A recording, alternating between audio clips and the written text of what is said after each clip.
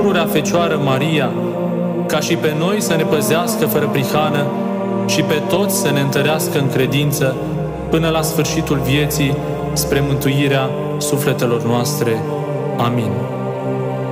Sfinților împărați Constantin și Elena, cei ce sunteți mai cinstiți decât toți împărații, aleșii lui Dumnezeu, căzând înaintea voastră cu lacrimi vă rugăm, dați-ne mângâiere și nouă celor ce suntem în necazuri. Voi sunteți mijlocitori Sfintei Treimi și puteți să ne ajutați nouă. Auziți-ne și pe noi acum.